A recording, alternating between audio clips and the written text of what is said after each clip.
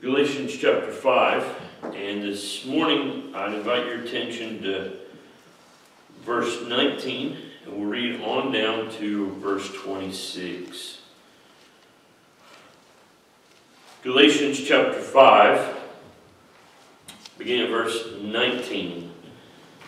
Now the works of the flesh are manifest, which are these adultery, fornication, uncleanness, lasciviousness, idolatry, witchcraft, hatred, variance, emulations, wrath, strife, seditions, heresies, envyings, murders, drunkenness, revelings, and such like, of the which I tell you before, as I have also told you in time past, that they which do such things shall not inherit the kingdom of God. But the fruit of the Spirit is love, joy, peace, long suffering, gentleness, goodness, faith, meekness, temperance. Against such there is no law. They that are Christ's have crucified the flesh with the affections and lusts. If we live in the Spirit, let us also walk in the Spirit. Let us not be desirous of vainglory, provoking one another, envying one another.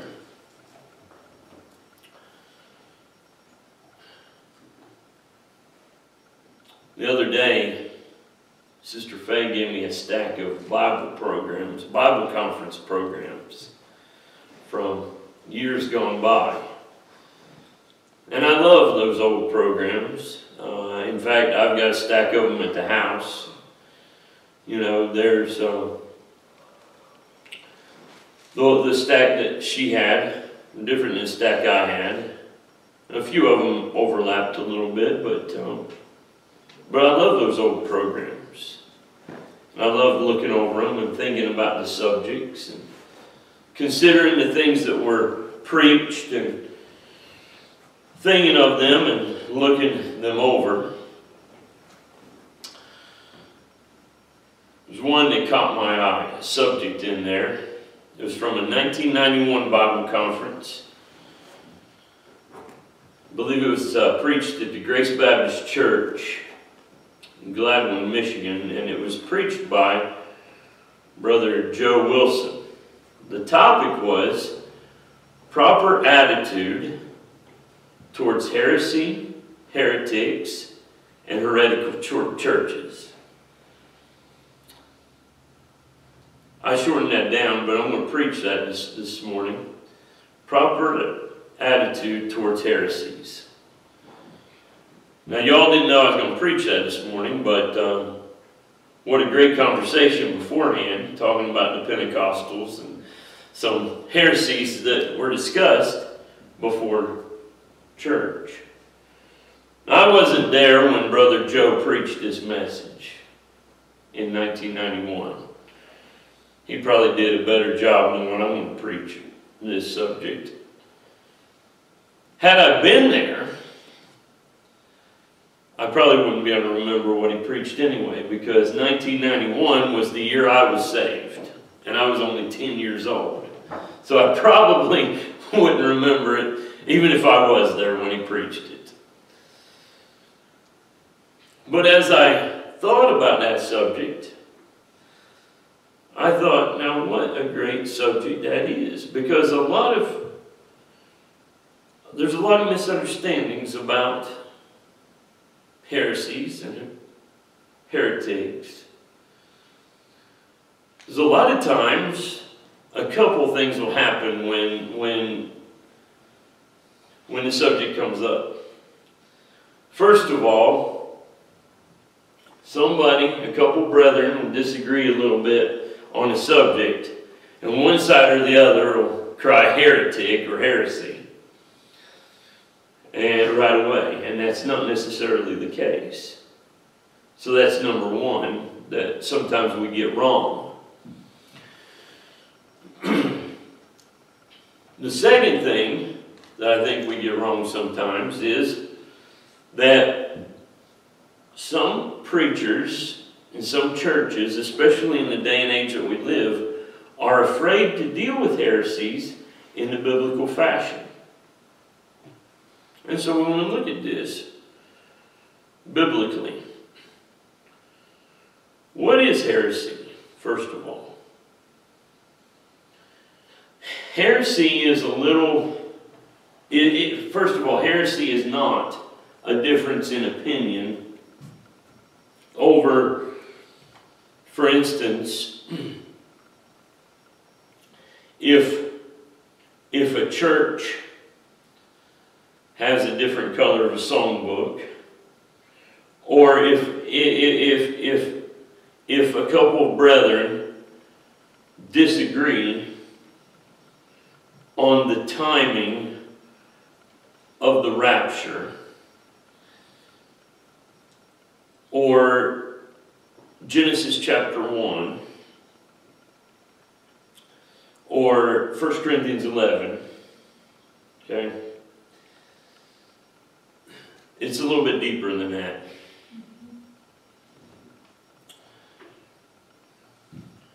And I trust that we'll be able to see that as we get into this message. Heresy, I believe, by definition, is a fundamental error in religion or an error of opinion respecting some fundamental doctrine of religion. The scriptures being the standard of faith, any opinion that is repugnant to its doctrine is heresy.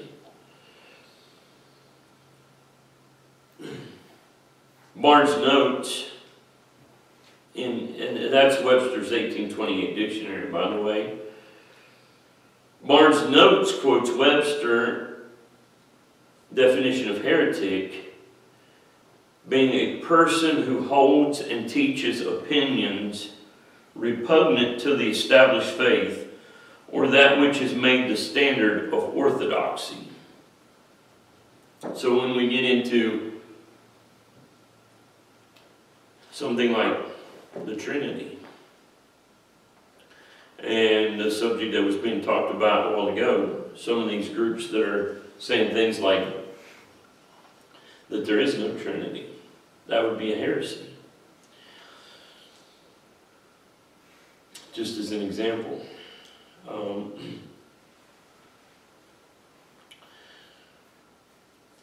from our text, we see that heresy is a work of the flesh. It's listed right here with such sins as adultery, murder, and drunkenness.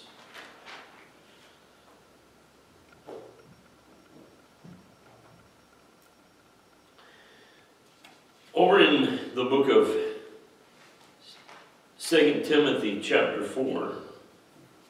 Oh, and by the way, we can see the seriousness of this because when it comes to the works of the flesh, what does he say about it?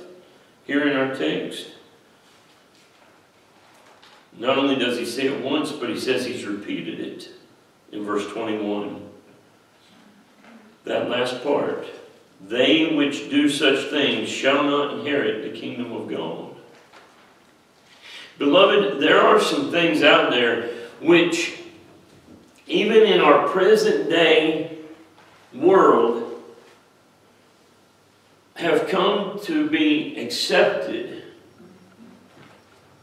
as mainstream Christianity, which are not.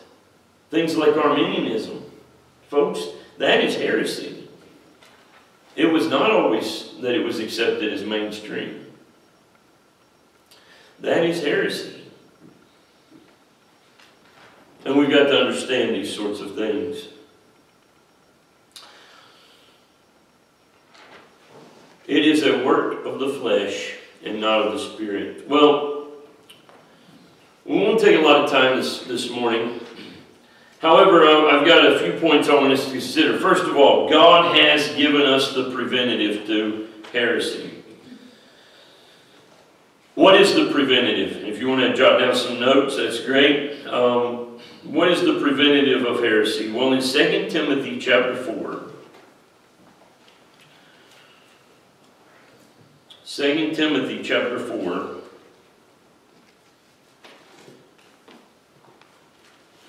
Verses 1 and 2.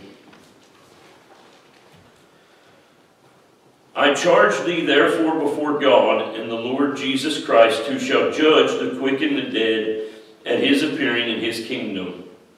Preach the word. Be instant in season, out of season, reprove, rebuke, exhort with all longsuffering and doctrine.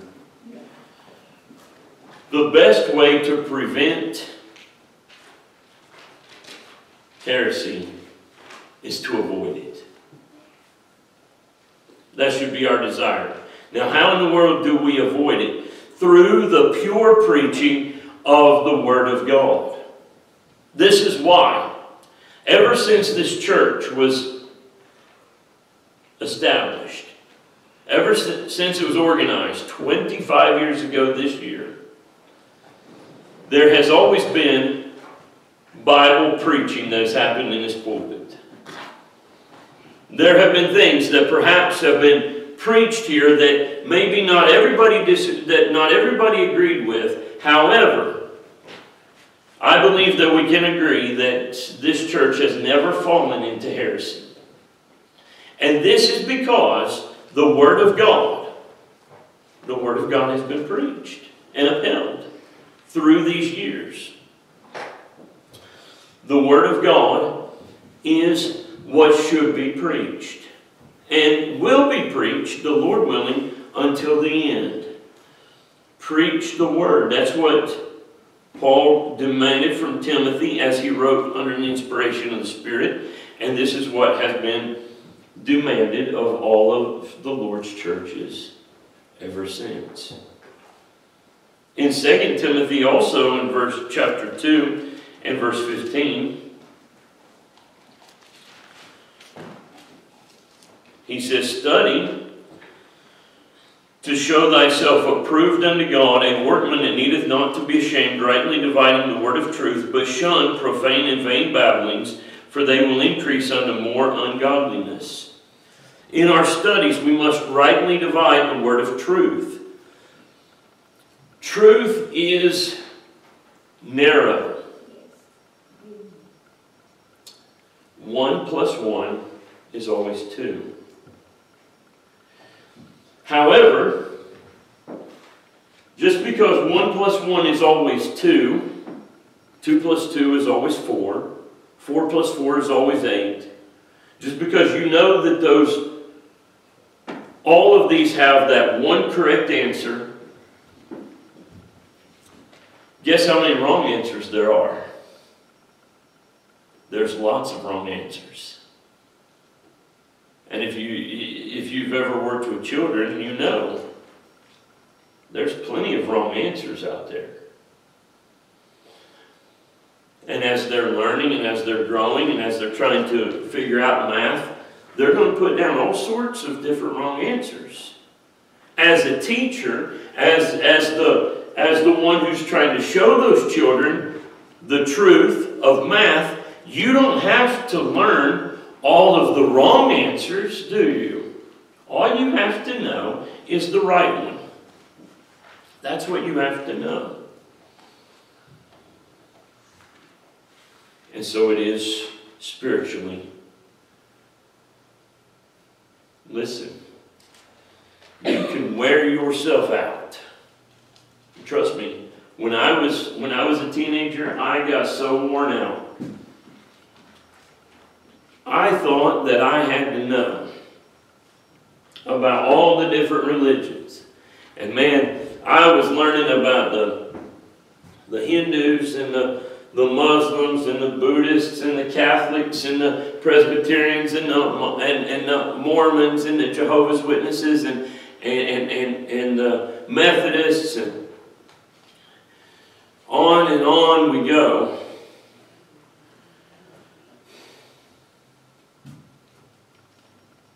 You don't have to do that. You don't have to do that.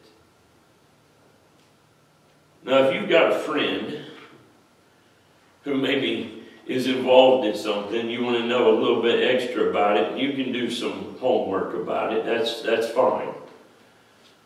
But understand something, if, if, if the, if the cult leader knocks on your door, that's pre-2019, 2020, never mind, they don't, they don't come knocking anymore. They'll, they'll call you on the phone or send you a letter. You know, they don't want to, six feet distance and all that sort of thing, but if they, if they approach you, whatever the case may be, don't panic if, you, if they give you some name of some religion you never heard of. What does the Muslim need? He needs Jesus. What does the Mormon need? He needs Jesus. What does the Pentecostal need? He needs Jesus. What do all these people need? They need the pure Word of God. That's what they need. That's what they need. Point them to Christ. Point them to the truth. Rightly divided. Hear me now, there are some things in this word that you and I, we take for granted. Because we've been Baptists either a long time or we've been raised in the Baptist church for all of our life or most of our life. We take some things for granted. It seems so simple to us. Maybe we might even think of it as common sense. But they never heard it. They never heard it. Take them to the Word. Don't be afraid of that. As long as we stick to the Word of God, this will prevent us from falling into heresy as well.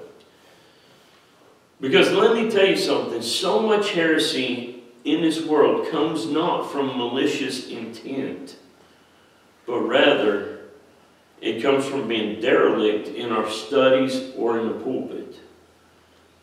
You neglect proper study, try to take shortcuts, get lazy in, in, in this study, and even now some pastors are lazy in the study. Studies have been replaced by offices or, or game rooms or television. The library's not there anymore. They got the big old big screen TVs now. What are they doing? I just get on Google and find my sermon, right? I just download my sermon from this place or that place. That's a dangerous thing to do.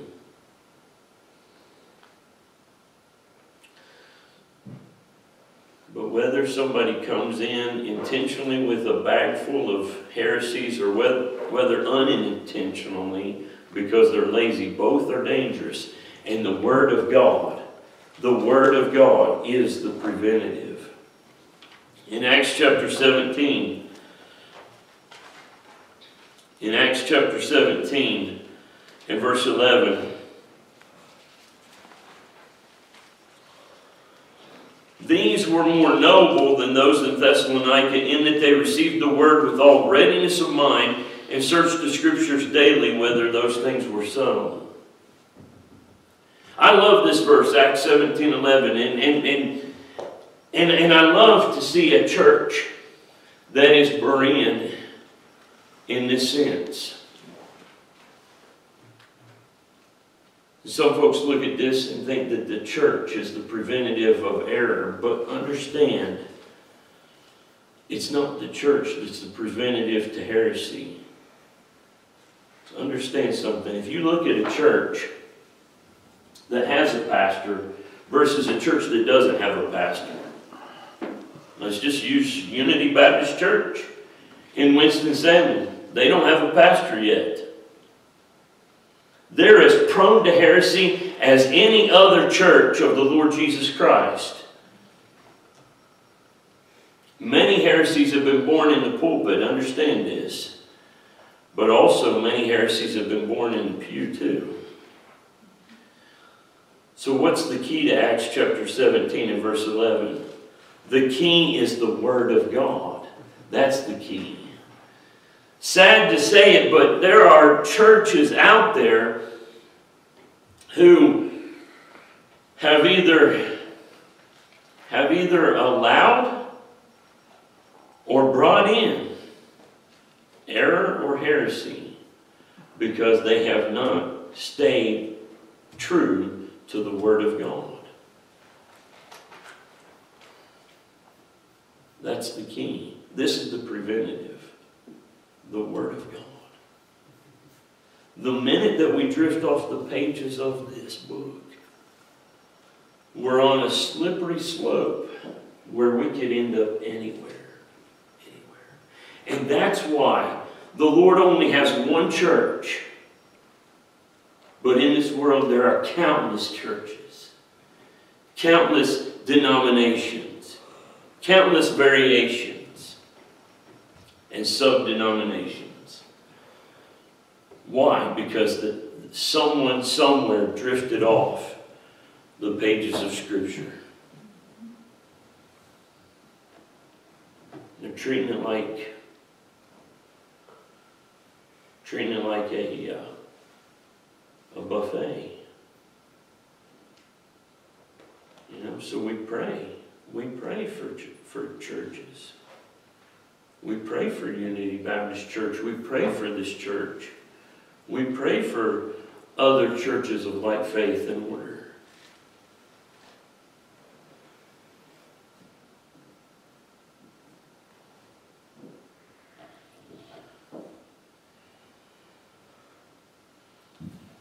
Secondly, what what do we do with the After all, isn't that the subject of the sermon? Proper attitude towards heresies. And heretics, what is to be done? Well, in Titus chapter 3,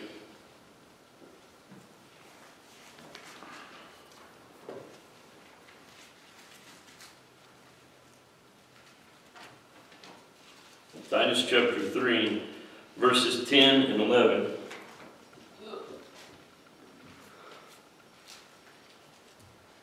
says, A man that is an heretic, after the first and second admonition, reject, knowing that he that is such is subverted and sinneth, being condemned of himself. Well, we get excited about that first part, don't we? A man that is an heretic.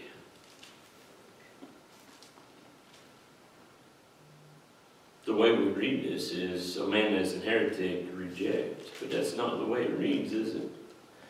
A man that is an heretic after the first and second admonition reject.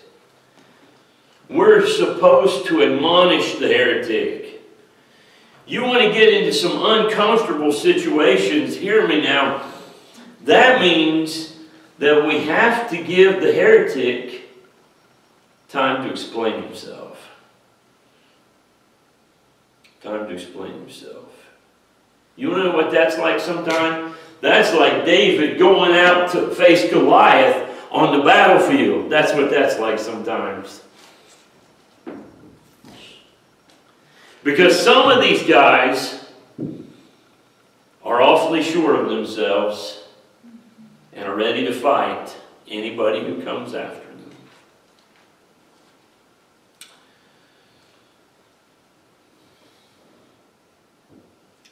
But they need to be admonished. They need to be admonished.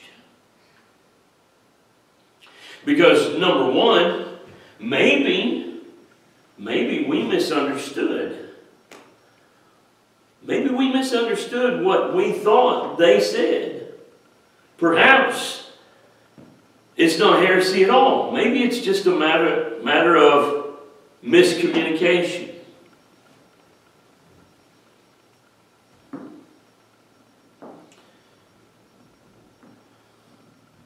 You understand that there's two reasons why I record my sermons. number one, because I pray that they're help to other people. And perhaps even to those who hear me the first time, they all can go back and listen again. And maybe they can be help uh, in obedience to the Great Commission. But also, number two,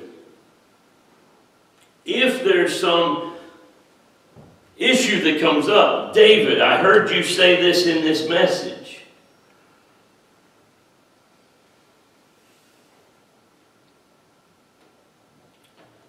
Without a recording, it could become a, it, be, it could become a crazy argument. But I have had to go back and listen. Sometimes the person who calls me misheard, and I can clear it up pretty easy because I can say, hey, here's the recording, go back and listen to it. Other times, I can go back and listen and say, well, I know that's not what I believe, let me listen to it. I can go back and clear it up.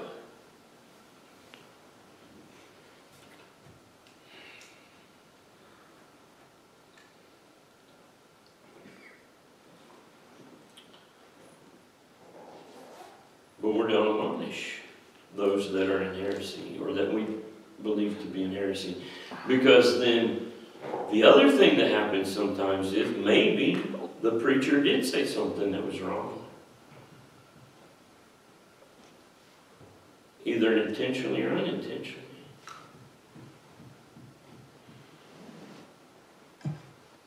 Whichever way it was,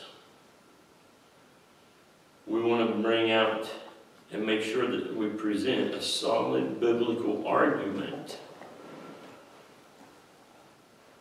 I know that sometimes we cringe at that word argument. I'm not talking about arguing like sometimes a husband and wife might argue with each other over over whatever uh, I'm not, I'm not going to give examples that might get me into an argument later, but um, but you know, you know, I'll just leave it at that.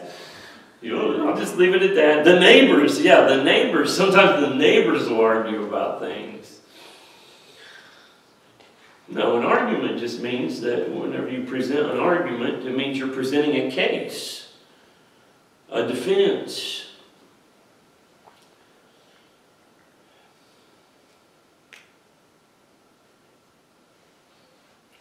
Nothing wrong with a good discussion scriptures. Um, the Baptists of the 1800s, they used to have some good debates and discussions with people they disagreed with. Sometimes even with each other. Oh, I'm against conventions and, and, and, uh, and, and all, all of those sorts of things, but one of the things that we've lost is the churches used to get together and subjects would come up and they would discuss those things. Sometimes they get pretty heated, but they were good to have those kinds of discussions. And they'd walk away friends most of the time. most of the time, I say. But sometimes even those Baptists of days gone by, they would have debates with Methodists and Campbellites and all sorts of things. I don't think we ought to go out with a chip on our shoulder, always looking for debate and argument. However, however, we ought to always be ready to answer questions. Uh, in 1 Peter chapter 3, in 1 Peter chapter 3,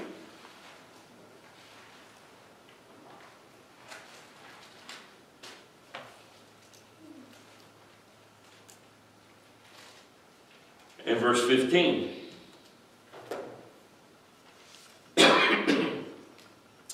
but sanctify the Lord God in your hearts, and be ready always to give an answer to every man that asketh you a reason of the hope that is in you with meekness and fear.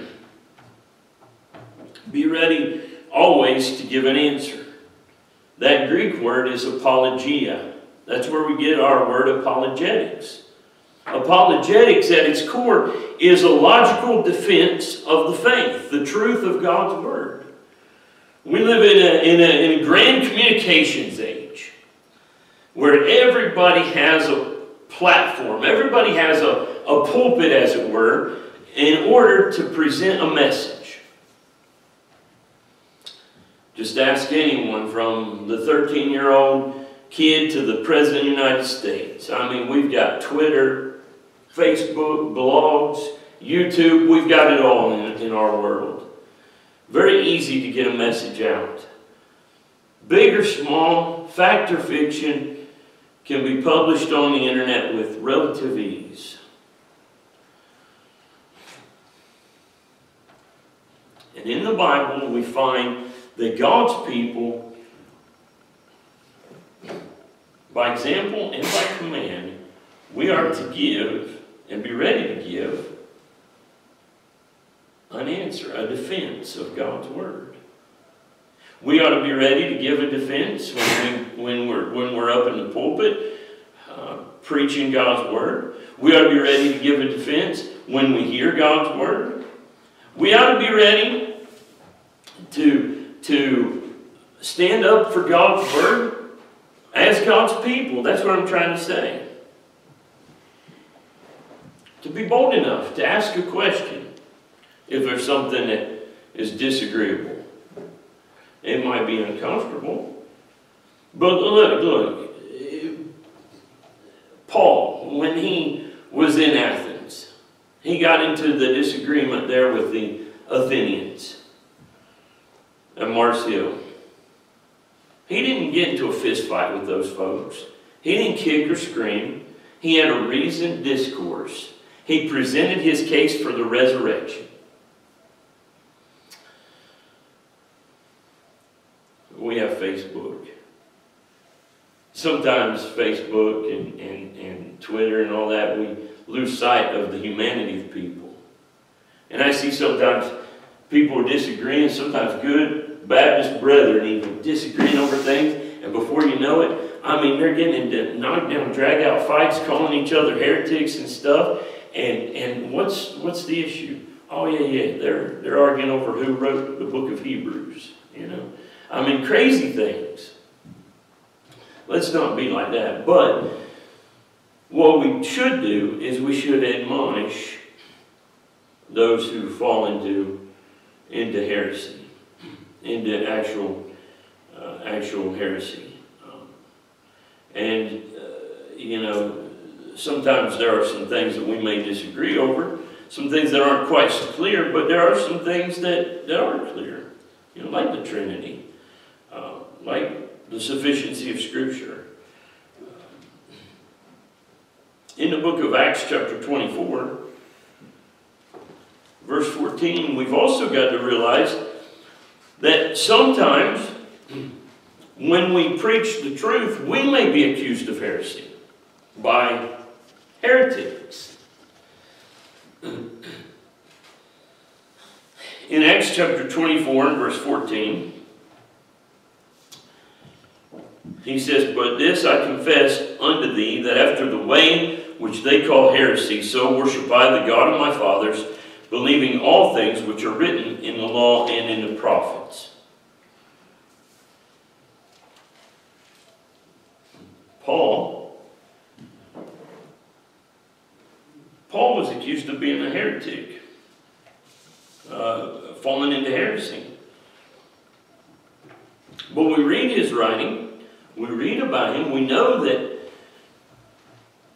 he had not gone away from the standard of faith, but what he had done was he had gone away from the opinions of his Jewish brethren. Okay? So understand this, that sometimes when we're preaching and teaching the truth, we may be accused of heresy. Many times in Baptist history, you'll find the Anabaptists were accused of going into heresy and being heretics. In fact, many of them lost their lives being accused of heresy. Why? Because they baptized believers. Because they, they, they, they preached the things that we preach. So understand this the standard has to be the Word of God. It has to be the Word of God. And, and, and, and understand also that we can't be so afraid of the term that we'll do anything to get out of it. But what of what of someone who has actually fallen into heresy? What of someone who has really drifted away from the orthodox teaching of Scripture?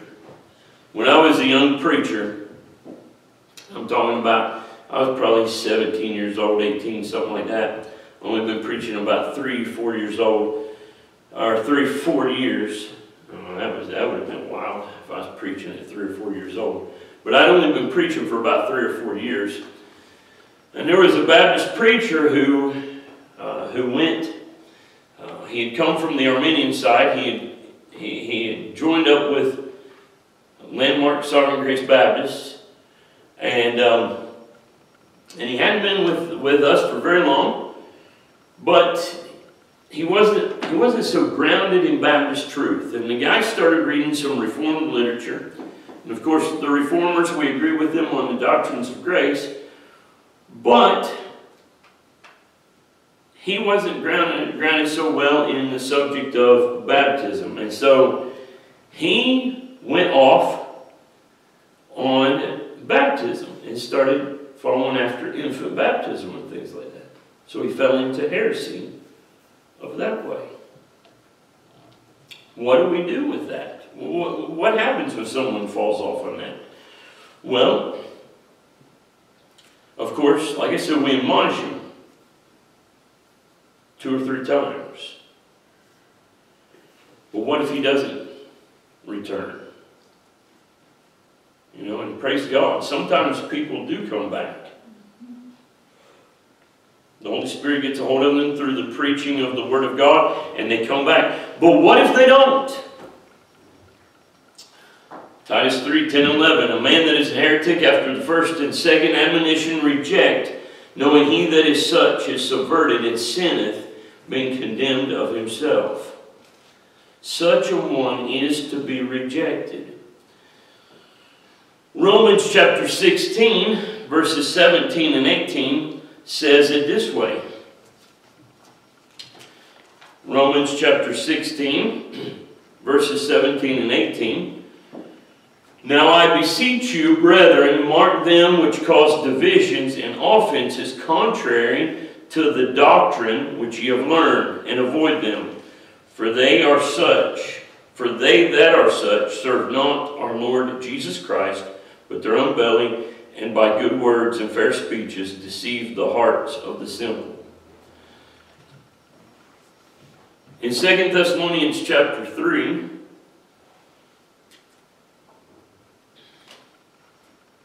Second Thessalonians chapter 3, verses 14 and 15, we have these words, And if any man obey not our word by this epistle, note that man and have no company with him, that he may be ashamed, it, yet count him not as an enemy, but admonish him as a brother.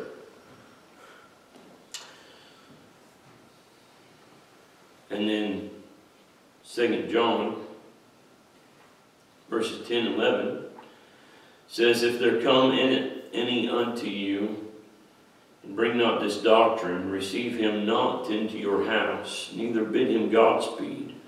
For he that biddeth him Godspeed is partaker of his evil deeds. What do we do? Well, there are some men who I believe to be saved men, but they have grabbed hold of some heresy and they won't let it go. And because of that, I won't have them preach in the pulpits where I pastor. And I believe the church agrees with me on these things. We sit down and talk about it.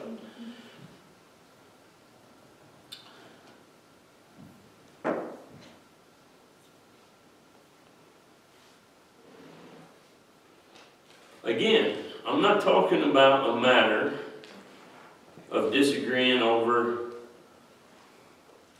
the timing of the rapture. I'm not talking about a disagreement over the elements of the Lord's Supper. Now understand, understand what I'm saying here. I believe these are important topics.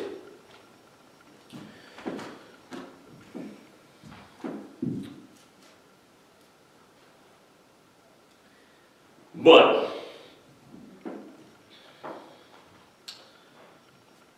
I wouldn't call those disagreements heresies. I believe there's something deeper with heresy. When, when we look at what a church and what, what Baptist distinctives are, okay, let's just put it that way. When we talk about what it means to be saved, when we line those things up, when you alleviate, or when you deviate, I should say, when you deviate off of that, that's where we start to get a problem. If you're trusting in works for your salvation, you're falling into heresy. If you're preaching works for salvation, you're preaching heresy. If you're, if you're preaching that you can go off and start your own church without, without having authority, that's heresy. If you're, if you're, if you're, if you're preaching that babies need to be baptized, not only have you gone away from Baptist doctrine, but now you're, you're teaching works for salvation, right?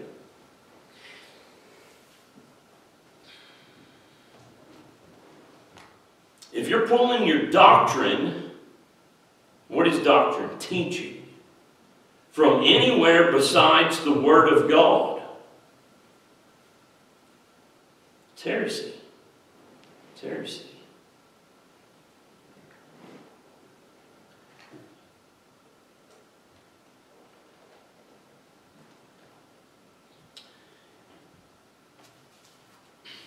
When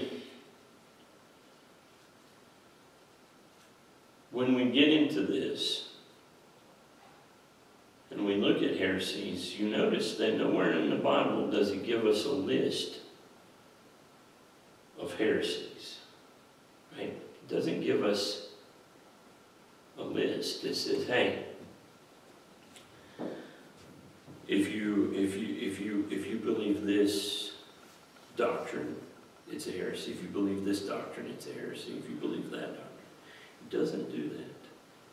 But I believe what we find within the scriptures is there are some things that um, that we that we read and we study, and as we as we look at this, we say, all right, we can agree to disagree on this particular issue, but that that's a heresy, and we will not. We will not have anything to do with that.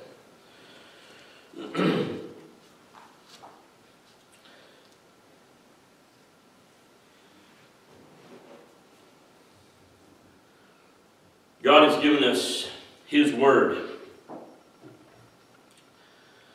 66 books of the Bible we've been given. By the end of the by the end of this inspired Word of God in Revelation chapter 22, down towards the bottom, verse 17, 18, and 19, he says this And the Spirit and the bride say, Come. Let him that heareth say, Come. Let him that is athirst come. And whosoever will, let him take the water of life freely. For I testify unto every man that heareth the words of the prophecy of this book. If any man shall add unto these things, God shall add unto him the plagues that are written in this book. And if any man shall take away from the words of the book of this prophecy, God shall take away his part out of the book of life and out of the holy city from the things which are written in this book. And then he closes out. Verse 20 and 21, he says, He which testifieth these things saith, Surely I come quickly. Amen. Even so come, Lord Jesus. The grace of our Lord Jesus Christ be with you all. Amen. I believe that, yes, this has to do with writers, Bible translators, that they should not be adding to the Word of God. But it also has to do with preachers and teachers. And when a man gets up in the pulpit and says things like that a, man, that a person ought to be praying for the dead and things like that, that is adding to the Word of God. That's heresy. That's heresy. There's nowhere in the Bible that says anything of the sort. It's not a, a disagreement over the Bible. They've done set sail away from the Bible.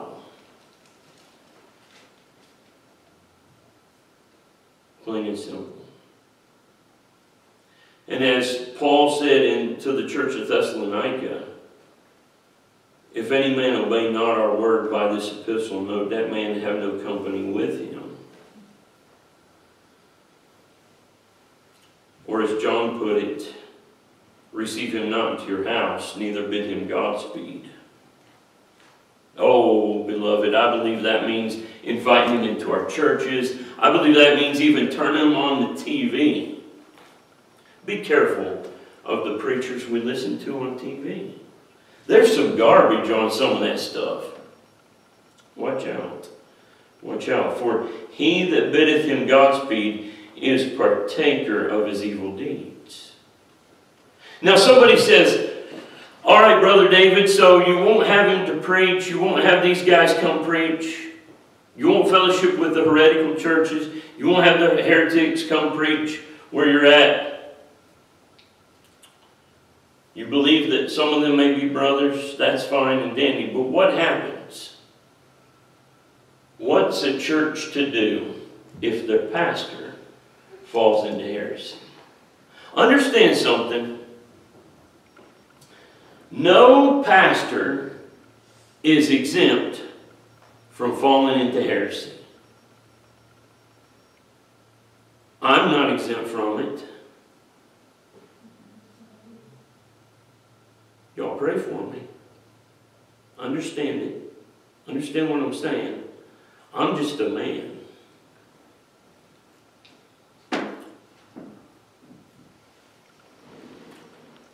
None of you out there are exempt from falling into heresy.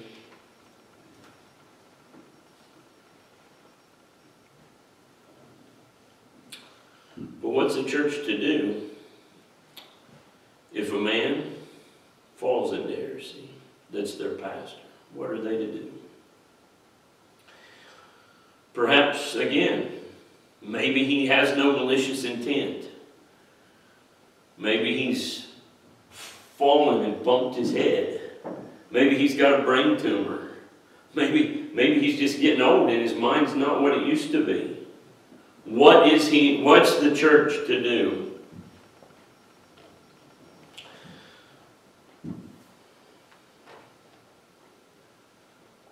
In 1 Timothy chapter 5.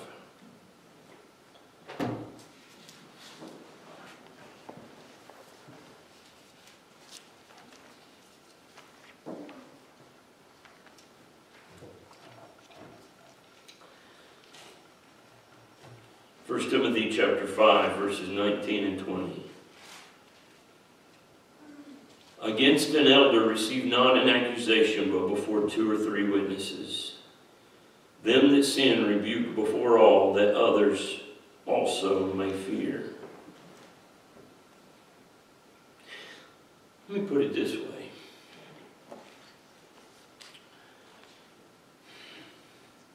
Titus chapter 3 10 and 11.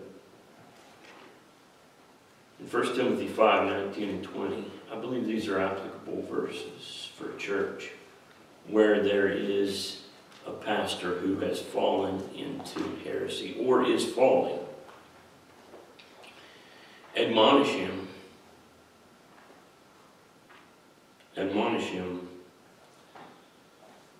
Uh, in fact, in fact, there in 1 Timothy 5 1, he says, Rebuke not an elder, but entreat him as a father, and the younger men as brethren.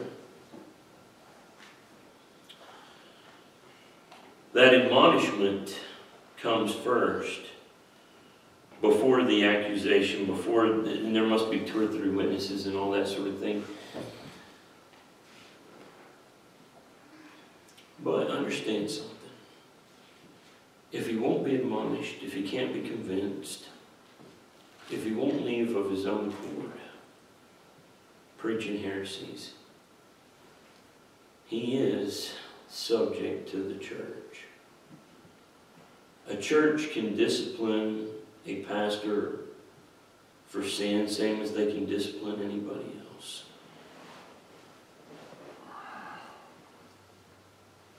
And they should. They should. I mean, look at those works of the flesh that we that we read about in the first in, in, in our text. Adultery, drunkenness. You wouldn't want a pastor that's running around on his wife. You want a drunkard as your pastor. Shouldn't want an adulterer or a drunkard as a member of the church. For sure, you don't want a heretic in the pulpit. Oh, but Brother David, he's been our pastor for years and years and years. Listen, folks, the truth, the truth is too important. The truth is too important. Can you imagine if Joe Biden was in the, in the shape that he's in with his mind, if he was a pastor somewhere, trying to trying to sort out biblical things? That'd be a disaster, wouldn't it?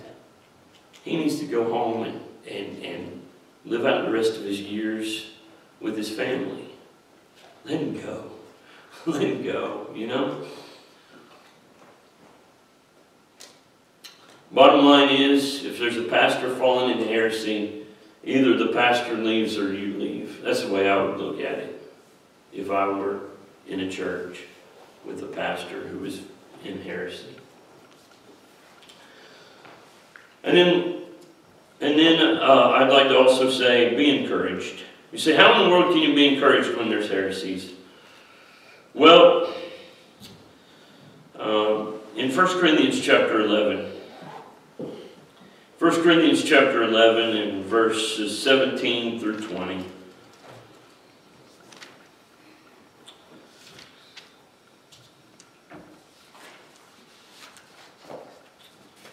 Our attitude towards heresy ought to be with, with we should, we should have some encouragement in this. And uh, 1 Corinthians chapter 11, he says in verse 17, Now in this that I declare unto you, I praise you not, that ye come together not for the better, but for the worse. For first of all, when ye come together in the church, I hear that, that there be divisions among you, and I partly believe it.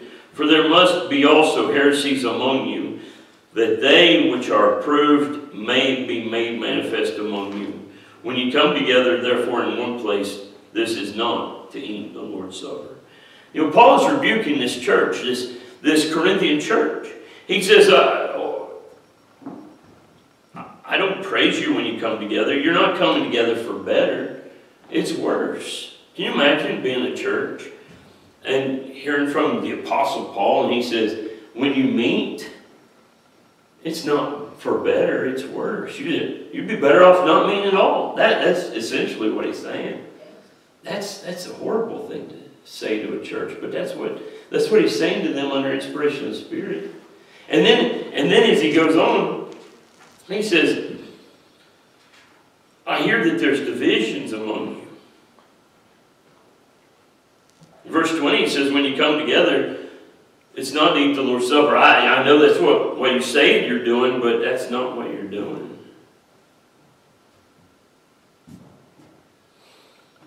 But look at there verse 19. He says, There's, There must be heresies among you, that they which are approved may be made manifest among you.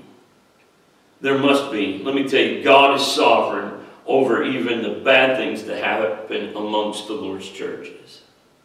God is sovereign over even the bad things that happen in your life and in the life of the churches. And so when heresies spring up, be encouraged. But also be encouraged to know that when these things happen, there's going to be some disappointments because some brethren are going to fall for these heresies. Some friends are going to fall for them. carried about with wind of doctrine as they come up. But, and by the way, there's also going to be some who won't stand. So that so there'll be some who, who won't necessarily fall for the heresy, but there'll be some who try to ride the fence. They, they won't stand for the truth, but they won't fall either. They'll just kind of float along, and that's disappointing too.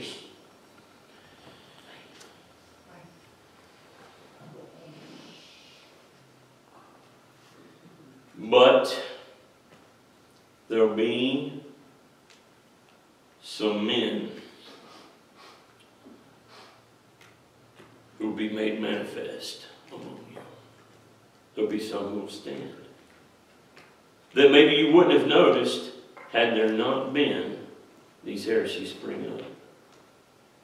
Oh, I would say to those who would be on the fence and those who stay quiet during these times, that I would encourage them to go back and read Charles Spurgeon in the downgrade controversy. Go and read about, uh, about J.R. Graves and some of the things that he got involved in. Or go and read some of the old Baptist examiners and those guys. Or how about Paul? Hmm.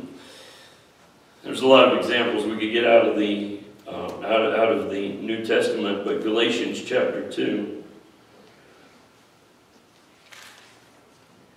Galatians chapter 2.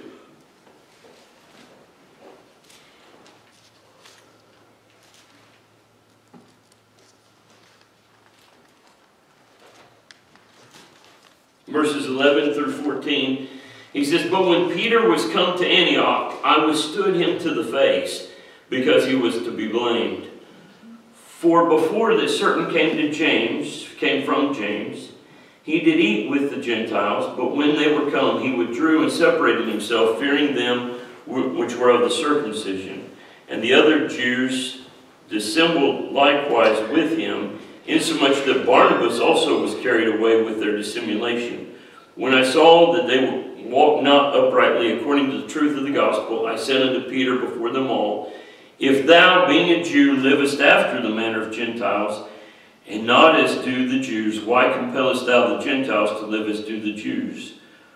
We who are we who are Jews by nature and not sinners of the Gentiles, knowing, verse 16, knowing that a man is not justified by the works of the law, but by the faith of Jesus Christ, even we have believed in Jesus Christ, then we might be justified by the faith of Christ and not by the works of the law, for by the works of the law shall no flesh be justified. We're told by some of this generation not to say nothing against nobody, and for sure don't name names when there's a heretic among us. But or when somebody goes into error. Peter did something that some people would consider a small thing. Okay? Peter withdrew and separated himself depending on the crowd. Whether he was eating with the Gentiles or whether he wasn't. Now, some people would say, oh, that's just a small thing. That's just a small matter. Don't worry about it. Let him do what he's doing. But like Spurgeon observed, small errors are the seedlings from which gigantic heresies spring up.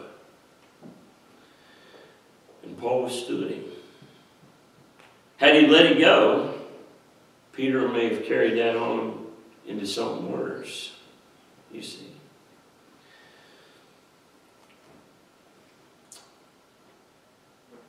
For every error, for every heresy, there's bold men like Paul who are willing to stand. We must stand. We must be bold on the truth.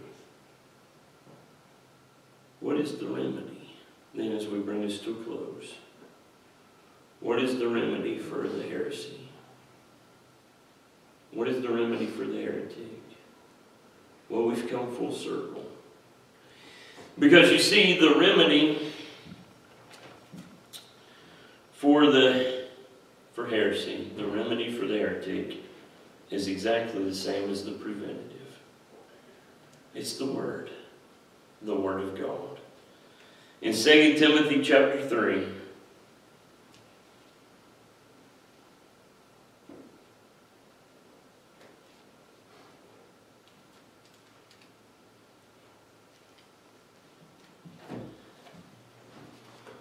Second Timothy chapter 3.